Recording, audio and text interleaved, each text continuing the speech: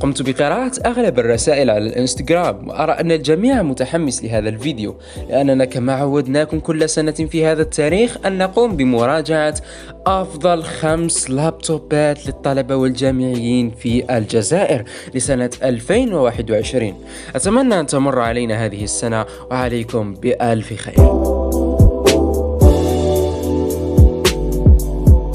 السلام عليكم. كيف حالكم أعزائي؟ أعتقد أن الغياب طال حتى أن اليوتيوب اشتاق لسماع صوت هذا الفتى. لا علينا أتمنى أن تعذروني لانشغالي. أقدم لكم هذا الاعتذار من صميم القلب لأن الاعتذارات المفتقدة إلى العاطفة أسوأ من عدم الاعتذار. أريد أن أوضح أن هناك ارتفاع كبير على مستوى آه، أسعار الأجهزة الإلكترونية عامة وقطاع التجميعات بسبب الحالة الاجتماعية التي تمر بها البلاد. وكذلك أنت كطالب في سنة 2020 بالأخص طلبة الإعلام الآلي وال électronique وال physique وال génie civil والاقتصاد أنصحكم باقتناء جهاز جديد. لا يقل عن معالج i3 ليكون عون لك في مسيرتك الدراسية إن شاء الله. أول جهاز في القائمة لدينا Lenovo IdeaPad 130 من أفضل الأجهزة نجاحا لهذه السنة أغلب مراجعات المستخدمين كانت إيجابية بشكل مثير للاهتمام. تصميم البلاستيكي عادي اعتدنا عليه من شركة Lenovo. keyboard بسيط وسريع الاستجابة للضغطات. شاشة Full HD بحجم 15.6 إنش. حجم كبير ومناسب يعني مساحة الشاشة تسمح لك بمشاهدة الأفلام والحصول على مساحة عمل وأفضل تجربة. مع وزن ممتاز 2 كيلو جرام فقط. بالنسبة للمواصفات الداخلية لدينا i5 من الجيل الثامن 1.6 جيجا هرتز مع boost يصل حتى 3.4 جيجا هرتز آه لدينا في التخزين 4 جيجا بايت لل RAM والتخزين لدينا 1 تيرا بايت البطارية تصمد حتى 6 ساعات من الاستخدام. أخيرا سعر الجهاز يبلغ من 7 ملايين حتى 8 ملايين في الوقت الحالي. ثانيا معنا ال Dell 3400 الجهاز من شركة Dell وهو شبيه نوعا ما بالجهاز السابق تصميم بلاستيكي عادي وبسيط حواف شاشة صغيرة وجذابة. بالنسبة للشاشة الكريستالية بدقة ال Full HD بحجم 14 إنش والمواصفات الداخلية لدينا i5 من الجيل الثامن 8 جيجا بايت لل RAM و250 جيجا بايت SSD.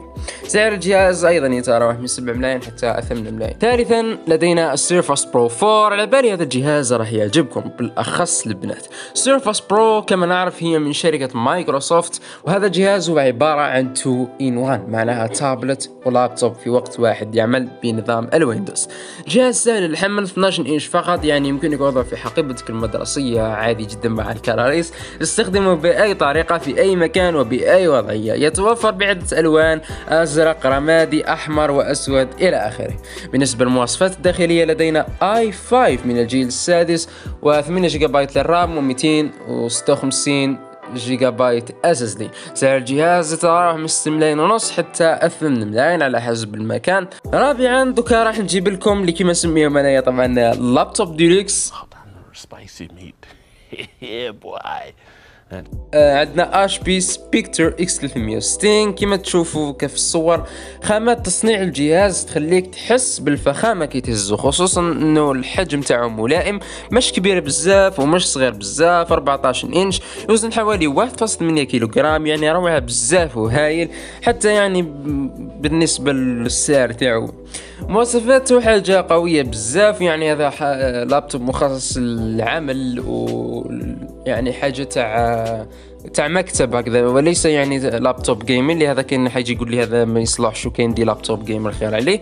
سما فرق إنك تكون هز معك laptop gamer راح يكون يوزن بزاف من هذا سما تاع travail تهز معك حاجة خفيفة برك. مواصفات عندنا i7 من الجيل الثامن 4.6 جيجا هرتز. مع carte graphique NVIDIA MX250 2 جيجا بايت مع 16 جيجا بايت لل RAM و512 جيجا بايت SSD السعر تاعو يبلغ من 14 مليون حتى 16 مليون على حسب البلاصة اللي يتباع فيها وعلى حسب التاجر. أخيرا خليتكم هذا في نهاية الخاتمة باش نكون ختمنا فيديو هذا العام بهذا الوحش. عندنا Dell XPS 13 كما تشوفوا قدامك تصميم جذاب بسيط مريح للعين. حوافه شبه منعدمة شاشة 4K بحجم 13 إنش. المواصفات الداخلية عندنا i7 من الجيل الثامن كذلك 1.8 جيجا هرتز مع boost يصل حتى 4.6 جيجا هرتز مع 8 جيجا بايت لل RAM و512 جيجا بايت SSD للتخزين مع سعر يعني راح يناسب الكثير اللي هو 13 مليون. طبعا السبب اللي حقول له هذا منخفض للاخر السعر تاعو غالي. طبعا هذا يرجع للشاشة parce que هذا الشاشة تاعو 13 إنش فقط. الآن أوجه الشكر لكل شخص راه لحق لنهاية الفيديو. يكتب تحت الفيديو كلمة برتقال. أي خلينا نشوف ترى شحال من واحد يقول لنا آه المهم هذا هو اللي كان عندي. مش صلي على رسول صلى الله عليه وسلم. اتمنى لكم يوما موفقا. وهيا peace out